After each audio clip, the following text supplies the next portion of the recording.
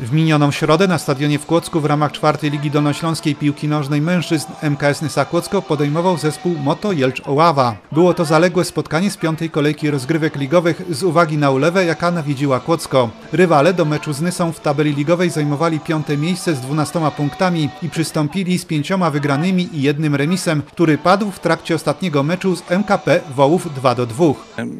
Popełniliśmy dwa błędy w końcówce meczu i no niestety, taka jest piłka. Po prostu.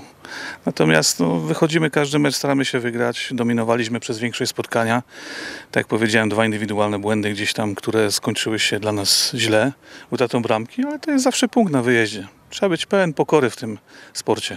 Każdego rywala należy y, szanować, broń Boże lekceważyć. Taka liga specyficzna już to nam dało nauczkę w zeszłym roku, że też y, no, mecze, które powinniśmy spokojnie wygrać, nie udawało się, nawet zremisować. Natomiast plan, zawsze mam ten sam plan. My chcemy dominować, chcemy grać w piłkę. Mam nadzieję, że to dzisiaj się nam uda. Zespół gospodarzy w tabeli ligowej zajmował 13 pozycję z czteroma punktami na koncie. Do tej pory zanotował jedną wygraną, cztery porażki i jeden remis. Ostatnio na wyjeździe z Orłem Lubawką 1 do 1.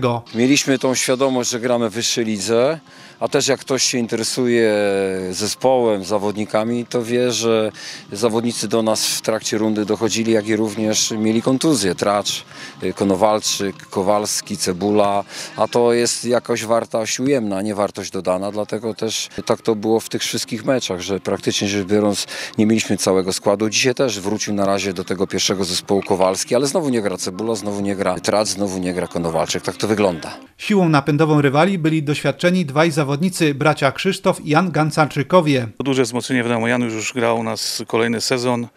Dla mnie najlepszy piłkarz czwartej ligi. Myślę, że spokojnie dałby sobie radę grać jeszcze wyżej. Natomiast no, Krzysiu, który dołączył do nas y, w tym oknie transferowym, no to jest jakość, której też brakowało gdzieś tam. E, no, co mogę więcej powiedzieć, tylko się cieszę, że takich dwóch ludzi jest w Oławie. Piłkarze Nysy zagrali świetne pierwsze pół godziny. Efektem tego była bramka autorstwa Kamila Kowalskiego, a prowadzenie mogło być wyższe. Wcześniej w poprzeczkę trafił Mikołaj Kotwas, a przy stanie 1 do 0 zawodnik gości po stałym fragmencie gry wybił futbolówkę z pustej bramki. Oławianie doprowadzili do remisu w 41 minucie po rzucie rożnym, który wybijał Janusz Gancarczyk, a piłkę w siatce umieścił strzelając głową Karol Nikodem. Kiedy arbiter doliczył do pierwszej połowy 60 sekund i to wystarczyło, aby rywale zeszli do szatni prowadząc 2 do 1 po celnym strzale Janusza Gancarczyka, który w 68 minucie dobił Nysę po podaniu Mateusza Dobkowskiego, podwyższając wynik spotkania na 3 do 1. W 90 minucie padła jeszcze jedna bramka. Wydawało się, że arbiter odgwizdał faul na Gawdanowiczu, który zastąpił w bramce Brandla, jednak gol został uznany i ostatecznie Kłodczanie przegrali zaległe spotkanie piątej kolejki 1 do 4. Powiem tak z wyniku jak najbardziej zadowolony, natomiast pierwsze, tym razem pierwsze 20 minut, no, znaczy ja wiem dlaczego nie weszliśmy w ten mecz dobrze, to już nawarstwia się po prostu zmęczenie, ten, ten zespół gra cały czas prawie w tym samym ustawieniu, więc y, co trzy dni w niedzielę graliśmy teraz y, ciężki mecz w tym Wołowie, do końca trzeba było walczyć, teraz y, no, też duża płyta, było gdzie biegać, pierwsze minuty ciężkie, tak mówię, w naszym żargonie piłkarskim trzeba było przepalić troszeczkę i no i ruszyliśmy, tak jak powiedziałem, jakość zespołu jest bardzo duża, więc o to się nie bałem, że w końcu gdzieś te, te, te, te bramki wpadną. Nie? Dobrze się ułożył mecz też, bo strzeliliśmy do szatni tą bramkę, to jest bardzo ważne.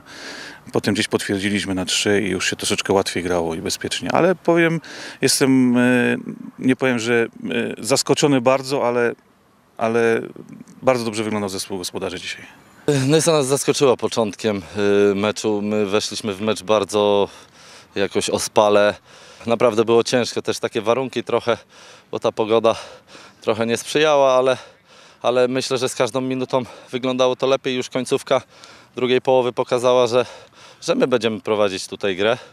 Chyba wzięliśmy trochę przykład z reprezentacji Polski, bo też ostatnio dopiero pod koniec pierwszej połowy ruszyli. No i w drugiej połowie udało się strzelić tą trzecią bramkę i myślę, że już, że już było spokojniej. No jeszcze dobiliśmy na koniec czwartą bramkę, także myślę, że zasłużenie wygraliśmy. Zagraliśmy tak naprawdę dwie, dwie różne połowy. Tak? W pierwszej połowie e, zagraliśmy bardzo dobre spotkanie. Wszystkie założenia, które trener nam założy, wykonywaliśmy, z czego też padła pierwsza bramka. Nie wiem, co się stało. Przy, przy stracie pierwszej bramki e, się podłamaliśmy. No i schodząc już do szatni, niestety e, nie było w nas chęci walki, nie wiem jak to można nazwać, więc już na drugą połowę. Powiedzieliśmy sobie w przerwie, że tak naprawdę mamy wejść w drugą połowę i powalczyć. Straciliśmy dwie, dwie szybko bramki następne i to już po prostu poszło już samo z siebie. W sobotę kolejne zmagania w ramach czwartej Ligi Dolnośląskiej. MKS Nysa Kłodzko podejmować będzie Beniaminka Ligowego, zespół Mechanik Brzezina, a drużyna Moto Jelcz Oława trzecią drużynę w lidze Polonię Trzebnice. Oba spotkania zespoły rozegrają na własnym boisku. Początek spotkań planowany jest na godzinę 16.